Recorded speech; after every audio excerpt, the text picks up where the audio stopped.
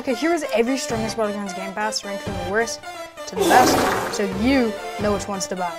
Let's go. So first things first, there are seven game passes in the game. Don't worry, I own these. I just got them gifted to me. We have Early Access, Private Server Plus, Extra Emote Slots, VIP, Kill Sound, Emote, Second Page, and Awakening Outfit, which is the newest one. So starting off in the number seven spot is gonna have to be Emote Pages. It was new, the hype was big, but like, if you have extra emote slots, you could get all of these. This is what Emote Pages does, by the way. Gives you a second page. So this is my second page of emotes. This is my first page of emotes. And yeah, that's all it does. 99 Robux Game Pass. It's pretty cheap, but it's still gonna be the last place spot. Now on number six, another thing related to emotes. You probably know this, extra emote slots. Pretty much normally you have one, two, three, four emotes. Emote slots gives you one, two, three, four, five, six, seven, eight, which is a lot more. The reason why this is above emote pages is because it costs the same price and you don't have to like go to the next page, then use the emote. Instead, you could just you could just do that. Because they're right here when you press B. You don't have to press B then press a button, then yeah. And in the number five spot is Awakening Outfit. So what this does is it allows you to like use some of your avatars. So what is this? When did I make this? So pretty much you could go, this is what it does. It's actually really cool. And boom, I'm Garou now. Um, the reason why this is getting the fifth spot, not anything higher, one fatal flaw.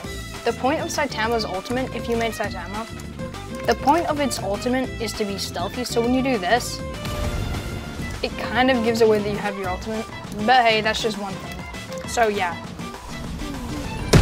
Okay, number four, we're getting into the top three. Right after this is kill sounds. Pretty much what kill sounds do, it's kind of obvious what they do. Do I have a kill sound on right now? I think I do, hold up.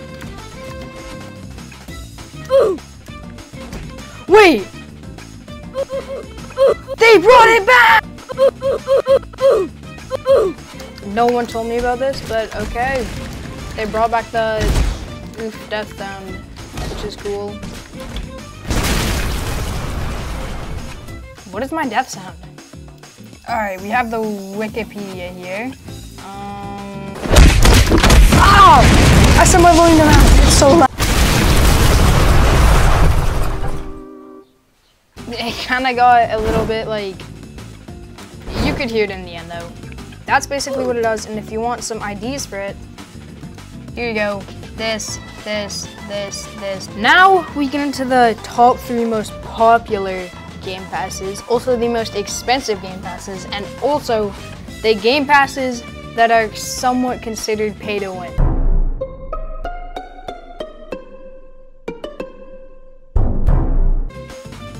In the number three spot, we have VIP.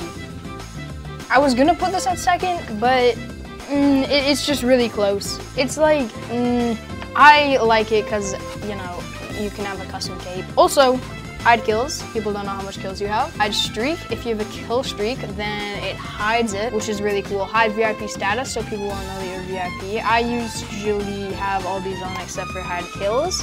Um, VIP cape, as you can see, I have a cape. There we go.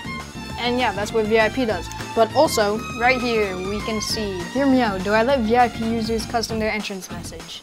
So pretty much it's your username has arrived. We can probably see that in the chat here. Yep, S Cameroni 5005 has arrived. Um, but you can um change these. So this would say, uh, what would it say? A cool person has joined. You can change it to say stuff like that. This might actually come out judging by how many people voted for yes. So yeah, that's all for VIP. Now we get into the next one. In the second place spot is Private Server Plus. Now this Game Pass is just crazy. I was honestly considering putting it in first place because how crazy it is. Um, let me show you some stuff, okay? Private Server Plus. Um, pretty much, uh, is this Private Server Plus? Maybe. You can do some of this. Ah! You can also do some of, you can also You can also fiddle around with some of these. Oh no, this game's gonna be weird with these. Okay, that's fine. You can also, oh, there's the death sound. Um, wrong character, I won't lie. Yep, yep, yep. Ah! Oh, this is new. They added something to the map. Um, there's also game modes. I don't really have anything to play with. Um, there's also a storm, which kind of reminds me of our upcoming video. Pretty much, um, I won't yap too much. Just go down to the comments, because uh, I'm hosting a battle royale that you can join. It has every single character. That's all that I want to say just go down to the comments or description. You can also lock the server so no one can join it. You can also kick on death. Which it doesn't work if you're the, well, it does work if you're the owner. And we're back. Now this brings us to the number one spot.